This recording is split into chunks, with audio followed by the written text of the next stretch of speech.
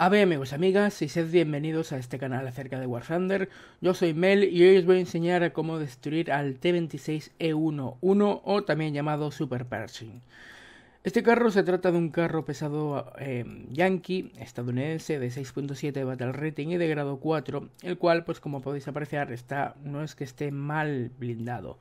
Tiene una muy buena distribución del blindaje, pero sin embargo no es invencible.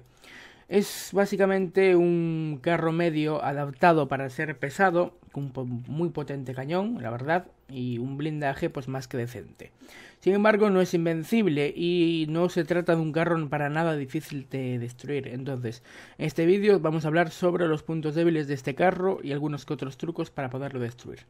Primero, como vosotros podéis apreciar, aquí tiene, tiene una placa de blindaje, aquí tiene otra y luego tiene esta, o en su su homólogos, pues, eh, homóloga, perdón, pues sería la, inferior, esta que acabo de indicar. Sin embargo, aquí este blindaje en War Thunder no funciona, por lo cual si le disparáis aquí, pues sería alrededor de, de 64 milímetros.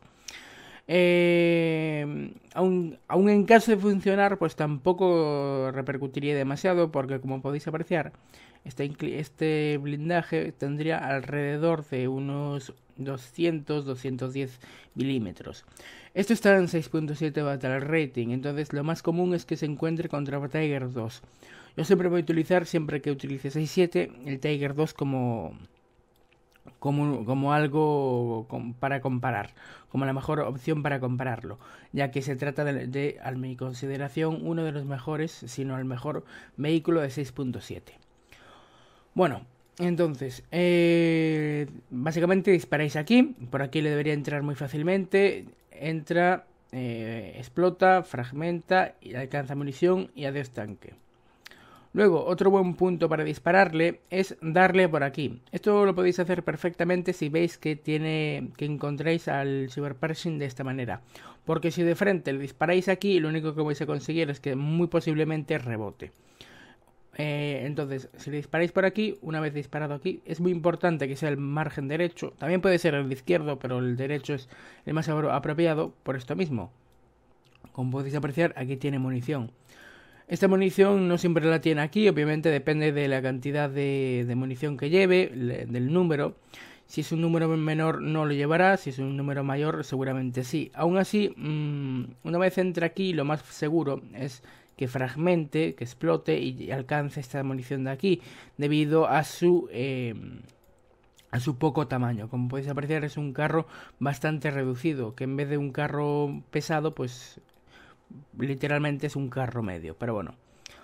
Luego, otra cosa para. otro buen punto para poderlo destruir es. se trata de las las escotillas estas. Quizá esta sea un poco difícil debido a que no es demasiado alta, pero sin embargo esta pues yo la veo bastante accesible. Aún así también tiene un buen ángulo de blindaje, entonces dependiendo de en qué posición esté. Si veis que está así el carro, yo, yo diría que disparaseis aquí. Pero si veis que no, no penetra, pues por aquí sería una bastante buena opción.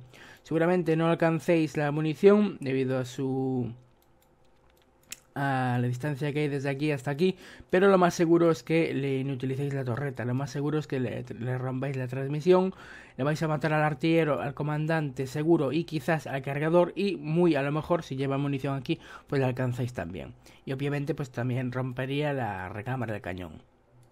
Y nada, pues esos serían mis tres puntos eh, débiles frontalmente.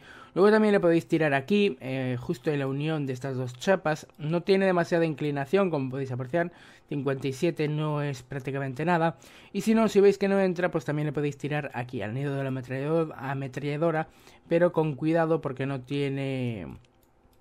No es seguro que entre debido al, al agujero pequeñito que tienen por aquí. Así que nada, pues así es como se destruye un Super Pershing de frente. Luego ya de lado, pues simplemente le tiréis por aquí, entre los rodamientos y las orugas. Eh, detrás le pegáis un tiro siempre al motor porque lo malo de este carro por detrás es que tiene una puesto de radio y, y tiende a parar el proyectil ahí. Entonces, yo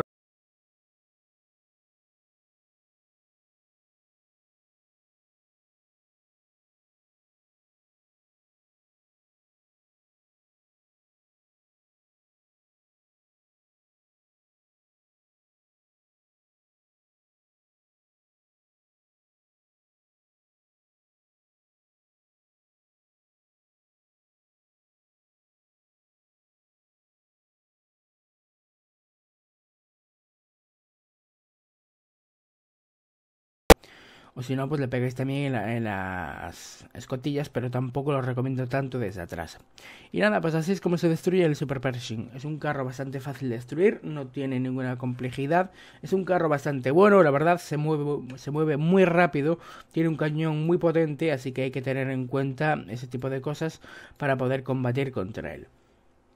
Así que nada, espero que os haya gustado y recordad que si queréis eh, pedirme otro carro para que analice, para que os enseñe cómo se destruye, tenéis la caja de comentarios. Y nada, pues por aquí lo vamos a ir dejando. Espero que os haya gustado. Y recordad que un me gusta, una suscripción y seguirme en Twitter es todo de buen hacer. Y un saludo a todos y hasta la próxima.